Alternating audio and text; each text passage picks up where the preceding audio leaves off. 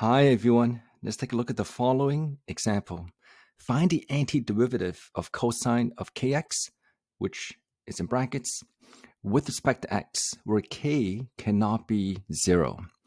Step number one, if we think about the antiderivative of cosine, that's going to be sine.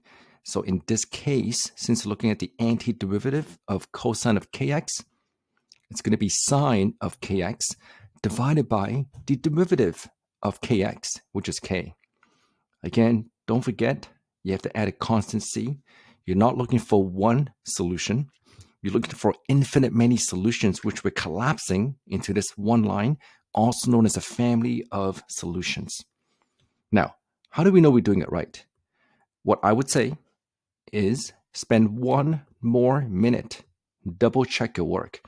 And by double checking, what I'm going to show you is we're going to go the other way, which means instead of finding the antiderivative, we're going to start with y equal to 1 over k times sine of kx plus c, and we're going to find the derivative.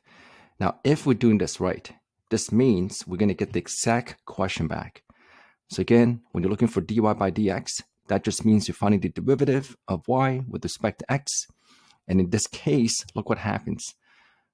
1 divided by k can copy. The constant at the front, or the leading coefficient, is independent of the derivative.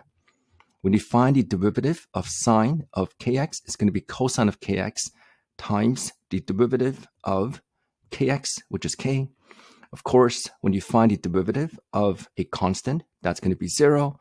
And again, look what happens when you clean this up. k divided by k is going to be 1. And the derivative here, this is 0, of course, just to be clear, this is 0.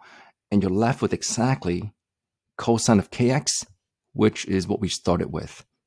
I hope this makes sense.